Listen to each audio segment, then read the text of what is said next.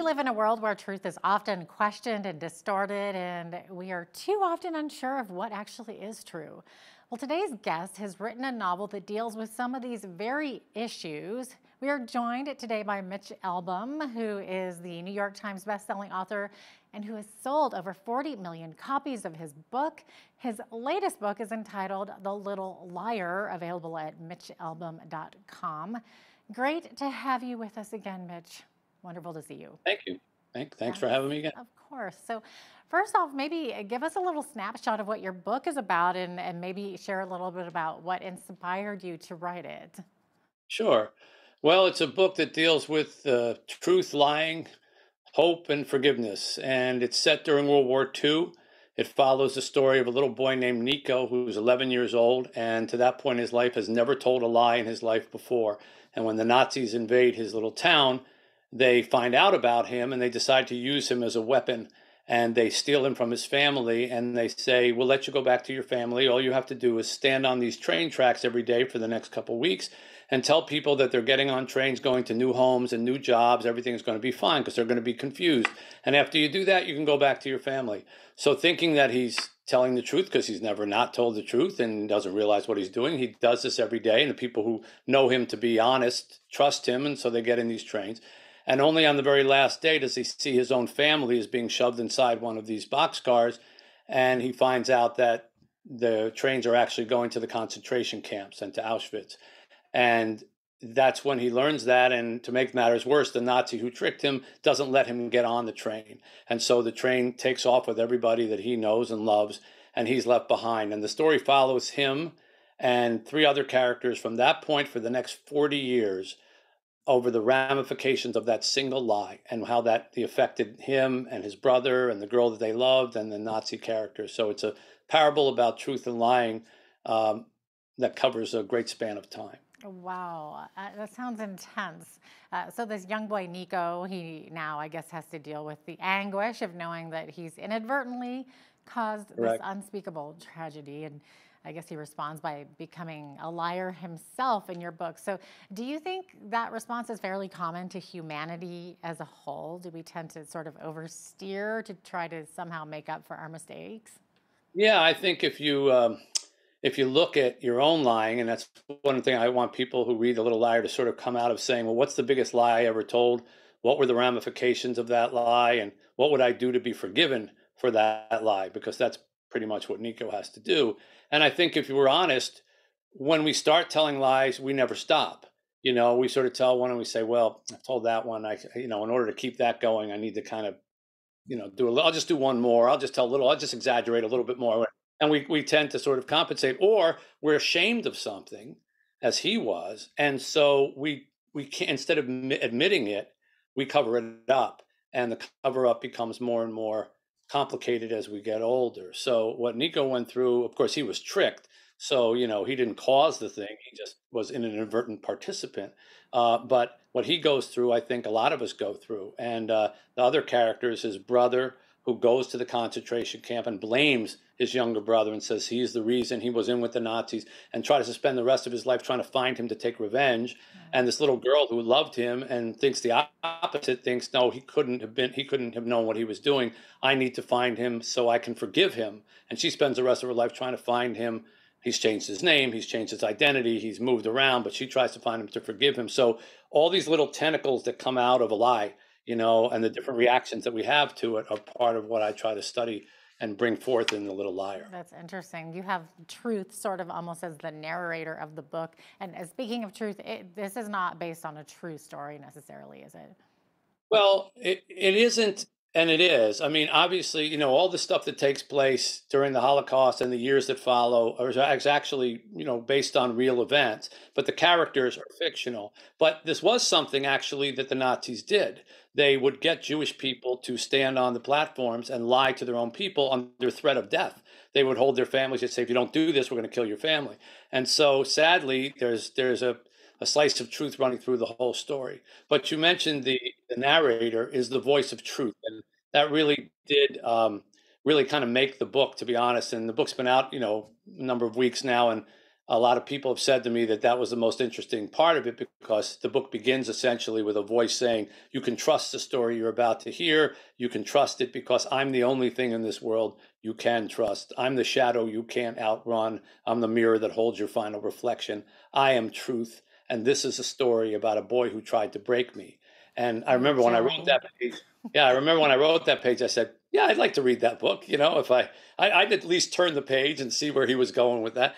So um, it gave me the opportunity to speak to the whole idea of lying and truth as if truth was having its heart broken, you know, by all the times that humans lie and, and abuse it.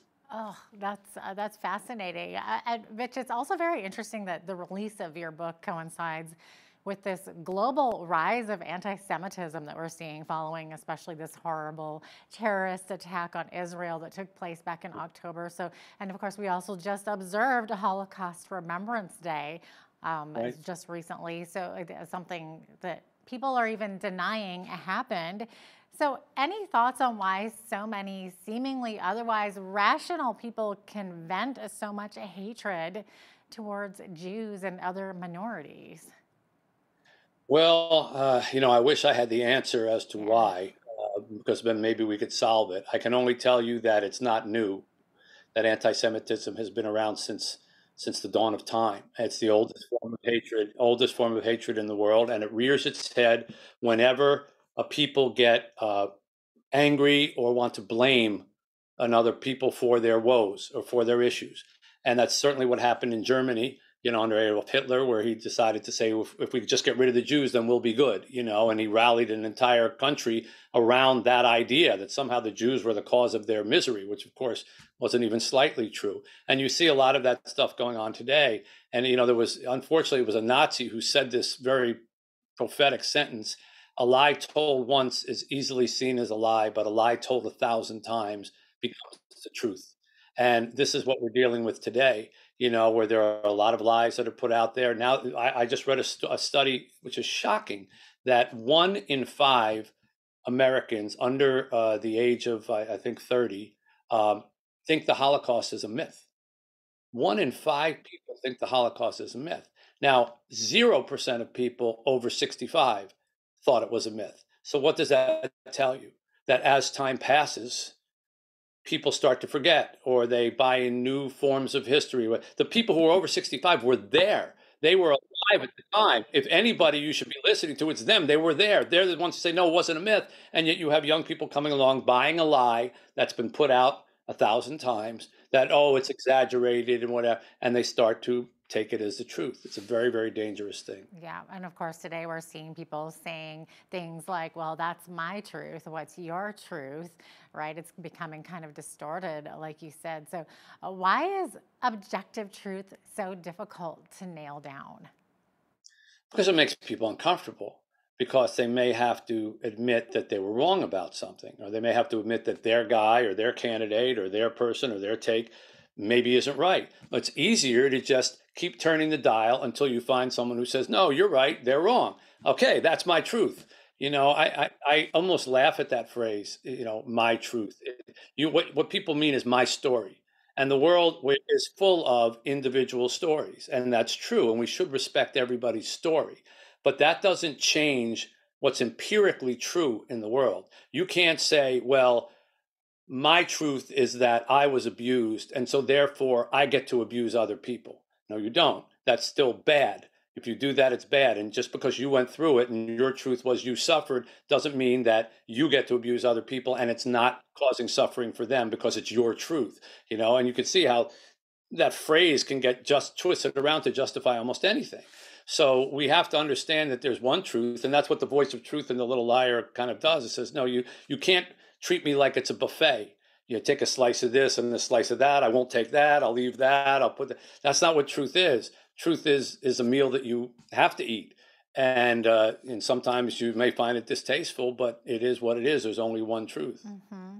Now, of course, your book addresses the power of lies, and some people might ask, "Are little lies okay?" Uh, you know, some people might might see it that way. Your thoughts? Well, yes. I mean, it does this does this uh, dress make me look fat? is uh, certainly something that we have learned that there's a good answer for, and then there's a yeah, don't for. answer that. yeah, and uh, or there's no answer for. Right. And I think most people know the difference between a small lie, and, you know, prevarication, and one that does harm. You know, and the and the other antidote to that, because we all do lie, so we can't pretend that we don't live in a world that doesn't lie. But the antidote to, to it is forgiveness. And this book is as much about forgiveness as it is about lying. Uh, you know, I always say that ever since Tuesdays with Morrie, which is the book people probably know me the most for, um, all of my books have a piece of Tuesdays with Morrie in them, whether I mean to or not. And certainly The Little Liar does because Morrie and I talked a lot about forgiveness. He was dying from Lou Gehrig's disease, and I visited with him every Tuesday until the end of his life. And we did like this last class together and what's really important in life when you know you're going to die. And one of the things that he said to me was, You need to forgive everybody everything, no matter how much they hurt you or whatever. If you care about them, if you love them, forgive everybody everything and forgive yourself. And this was something that plays very large in The Little Liar because Nico spends the rest of his life from 11 years old all the way until he's in his 60s trying to be forgiven for what he did and and trying to um, make up for it. And other people try to find him to forgive him. So that's a huge theme as well. Yeah uh, yeah obviously you were just talking about that theme of forgiveness that's kind of throughout your book there. Um, is this the only hope maybe that we have to overcome the violent hatred that is so common in our world right now well yes i mean uh, and, and i think you you actually maybe inadvertently said the word that is to me the antidote to all of it and that's hope um, you know, I, I have actually been teased uh, in my career or criticized uh, about being too hopeful in my books.